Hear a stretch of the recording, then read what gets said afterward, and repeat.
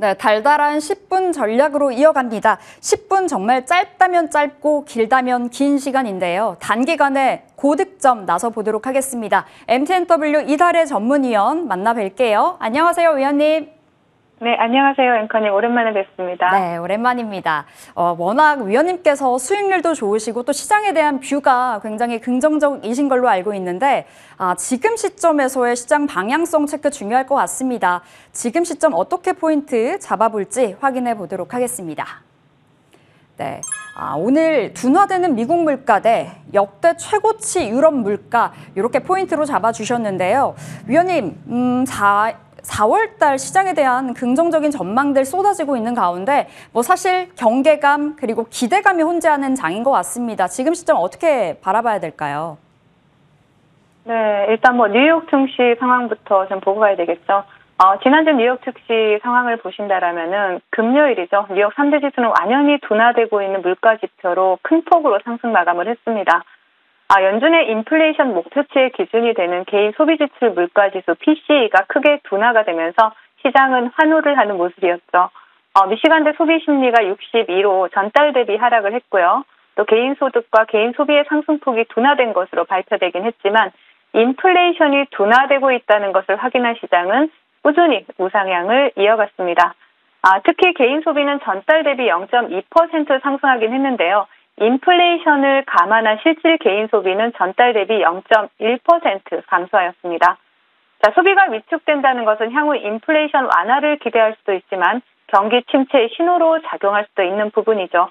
그러나 시장은 경기 침체 우려보다는 긴축 완화에 조금 더 무게를 두는 모습이 나타났습니다. 자, 하락세가 뚜렷한 미국의 인플레이션에 비해서 유럽은 여전히 심각한 수준이죠. 자, 지난주에 발표된 유럽의 인플레이션은 헤드라인 CPI 기준 전년 대비 6.9%로 5개월째 둔화되고 있는 모습이지만 근원 CPI의 경우에는 전년 대비 5.7%로 역대 최고치를 갈아치웠습니다. 자, 에너지 가격 둔화에 따른 헤드라인은 크게 둔화가 되었지만 어, 여러 가지 뭐 비에너지 상품이나 아, 그리고 서비스 그리고 어, 이러한 에너지를 제외한 모든 물가가 여전히 위험 수준을 나타내고 있습니다. 자, 미국도 역시 서비스 인플레이션은 여전히 문제로 남아 있는데요. 근원 PC가 전체적으로 낮아지긴 했지만 구성 항목 중에 서비스 인플레이션은 여전히 낮아지지 않고 있기 때문에 물가에 대한 시장의 불안감을 완전히 불식시키지는 못하는 모습입니다. 자, 국내 지수 상황 살펴보겠습니다. 지난 금요일 미국 증시 영향으로 갭상승 시작한 국내 지수는 외국인과 기관의 양모대로 혼조세를 나타내고 있는 모습이죠. 그나마 코스닥 쪽에서는 외국인들이 매도했던 물량을 일부 걷어들이면서 코스피, 코스피 대비 강한 흐름이 나타나고 있습니다. 자, 외국인의 수급은 코스모 화학이나 뭐 나노신소재, 성일하이텍과 같은 2차 전지 업종에 집중되고 있고요. 어, 삼성전자와 셀트리온과 같은 거래소 대표 지수 관련주들과 또 한화 에어로스페이스, 한국 항공우주와 같은 우주항공 관련주에서도 일부 외국인들의 수급이 포착이 되고 있습니다. 자, 오늘장 테마 동향 살펴보도록 하겠습니다. 아, 오늘은 사실 2차 전지를 제외하면 테마가 없다라고 이렇게 얘기해도 무방할 정도로 2차 전지 테마가 아, 거의 시장을 장악하고 있다라고 볼 수가 있겠는데요. 자, 먼저 차트를 보시면요. 다이나믹 디자인, 그리고 EV 첨단 소재, 그리고 코스모 화학이 상한가에 안착해 있는 가운데 그 뒤를 따라서 이구 산업, 코스모 신소재, 나노 신소재, 그리고 하이드로 리튬과 같은 어, 관련주들이 상당히 강한 흐름을 나타내고 있습니다. 뭐 일일이 열거할 수조차 없을 정도로 대부분의 2차 전지 관련주들이 강세를 나타내고 있는 시장이죠. 그 외에 또 본다라면 인적 분할 이후에 지난 금요일 상한가를 기록했던 하나 갤러리아 우선주가 오늘도 상한가에 안착을 했고요. 그리고 하나 갤러리아 본주가 아, 두 자릿수 상승률을 기록하고 있지만 시장의 모든 돈은 2차 전지에 쏠려 있다. 이렇게 볼 수 있기 때문에 다른 테마가 주목받기에는 2차 전지 테마가 너무도 강한 상태다. 이렇게 보여집니다. 자, 시장 대응 전략 드리도록 하겠습니다. 자, 지수의 상승이 제한적인 가운데 종목별 그리고 섹터별 장세가 지속되고 있습니다. 자, 지금까지 매크로 지표들을 종합해 본다라면 이러한 흐름은 미국의 기준금리가 동결이 되고 또 그 상태가 유지되는 여름까지는 이어질 수 있을 것으로 보여집니다. 3월 감사 보고서 시즌이 끝나고 이제 다시 실적 시즌이 시작되었죠. 어, 긴축 시기에 기업들 성적표가 공개될 것이고요. 또 그에 따라서 종목별, 섹터별 차별화 장세는 더욱 두드러질 가능성이 높습니다. 아, 계속해서 중소형주 위주의 단기 수익 매매에 집중을 해주시고요.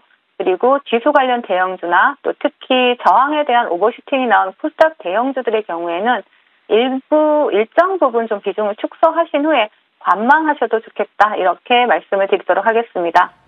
네.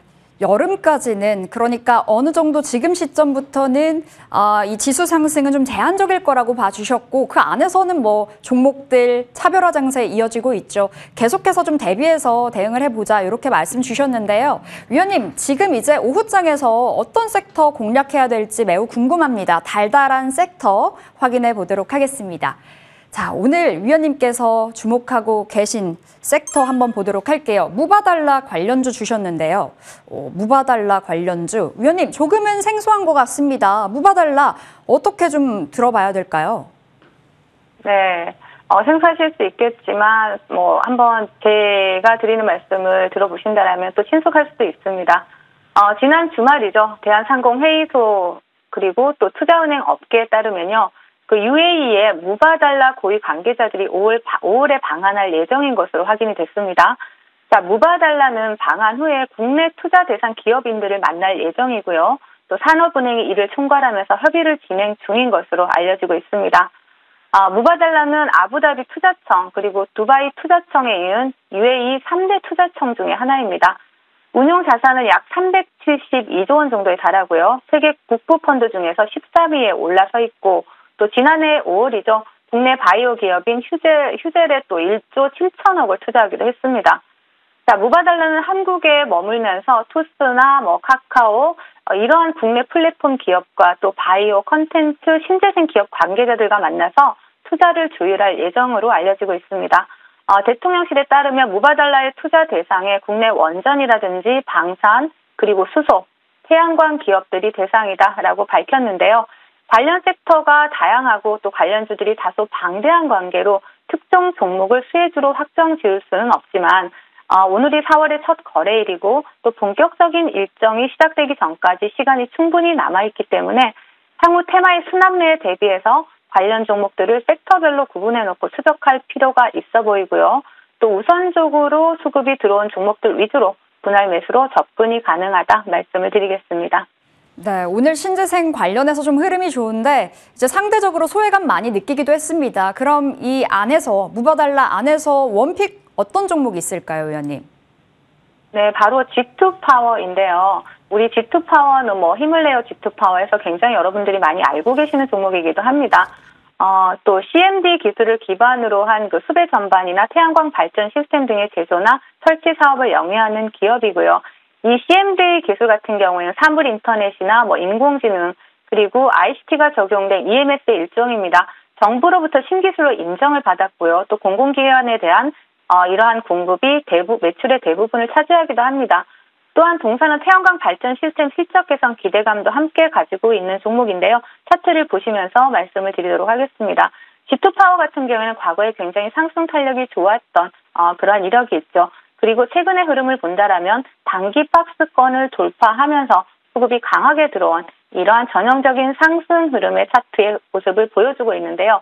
동종목 같은 경우에는 지금 일단은 어, 수급이 한번 강하게 들어온 상태에서 조정을 준다라면 분할 매수로 접근하시는 게 유해 보이고요.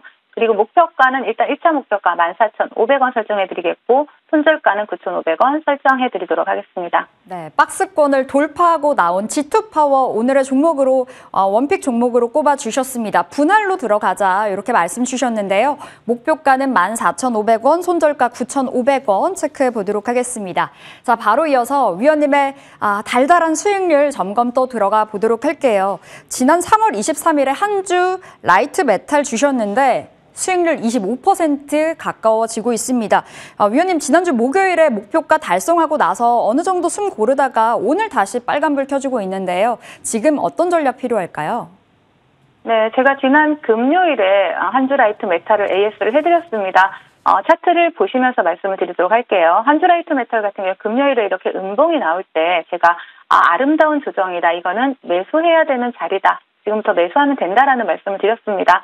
자, 이렇게 아름다운 조정이 나올 때 이 종목의 시세가 제대로 아직 분출되지 않았기 때문에 조정을 준다라면 모아갈 수 있다라는 전략을 드린 것이고요. 또 금요일 방송 시청하시면서 오늘 또 어, 수익 챙겨가신 분들 축하드리고요. 조정 준다라면 또 다시 한번 매수 관점으로 볼 수 있는 종목이다 말씀을 드리겠습니다. 네, 한 주 라이트 메탈로 수익 25%가량 받으신 우리 시청자분들 참 축하드립니다. 눌렸을 때는 재공략 가능하다 이렇게 사인 받, 받았고요. 두 번째 AS는 동아 화성 되겠습니다. 3월 초입에 받았는데 지금 박스권 안에서 어, 좀 움직이는 모습입니다. 지금 자리는 홀딩으로 대응을 해봐야 될까요? 네, 맞습니다. 어, 지금 제가 방금 전에 말씀드린 무바달라 이슈를 말씀드렸죠. 어, 사실 무바달라 그 이슈의 그 부분에는 수소도 포함이 됩니다. 그렇기 때문에 동종목 같은 경우에는 아, 지금 5월까지 그대로 홀딩하면서 어, 충분히 뭐 목표가까지 도달할 수 있는 종목이기 때문에 아, 그대로 홀딩하시면서 수익 챙겨가시라는 전략 드리겠습니다. 동아화성 그대로 홀딩으로 대응해 보도록 하겠습니다. 자, 세 번째 종목은 AP 위성입니다. 수익률 60%를 넘겼는데요. 위원님, 이 종목 역사적 신고가 새로 쓰고 나서 지금은 좀 어느 정도 쉬어가는 모양새입니다. 어떤 전략 필요할까요? 네, 그 AP 위성 같은 경우에는 제가 어, 우주항공 관련주로 충분히 가볍게 에, 상승 탄력을 줄 수 있는 종목이다라고 말씀드리면서 본방송을 통해서 큰 수익을 드리기도 했었는데요. 자, 지난번에 대주주 뭐 매도 이슈가 나오면서 단기 악재 부분에 대해서 고민을 하시는 분이 많아서 제가 그러한 부분에 대해서 단기 악재이고 우주 항공 테마에 대한 큰 흐름은 막을 수 없다라는 말씀을 드렸습니다. 그리고 오늘 미국 보잉사가 항공우주 산업 포럼 2023을 진행을 하고 또 내일은 우주항공청 특별법이 국무회의에 상정됩니다. 어, 계속 지속적인 이슈가 부각이 되고 있고 이런 이슈가 계속 나오고 있는 만큼 눌리면 매수 기회다라는 말씀을 드렸고요. 네, 차트 보시면서 말씀을 드릴게요. 자, AP위성 같은 경우에 지금 이 자리죠. 2만 원 라인을 이탈을 하지 않는다라면 계속 매수 관점으로 어, 보셔도 좋을 종목이다라고 말씀드렸고 지금 또한 이 자리죠. 어, 2만 천 원을 이탈하지 않고 지지해주는 흐름은 상당히 긍정적인 흐름이다라고 볼 수가 있습니다. 그래서 AP위성 2만 원 지지 라인 보시면서 다시 재공략 가능하다라는 말씀 드리겠습니다. 네, 많이 올라와 있지만 계속해서 좀 눈길 줘보셔도 되겠습니다. 다만 그 지지라인 2만 원은 꼭 체크해 보시길 저희 안내 드려볼게요. 자, 이렇게 이달의 달달한 10분이었습니다. 위원님 오늘 말씀 고맙습니다. 네, 감사합니다.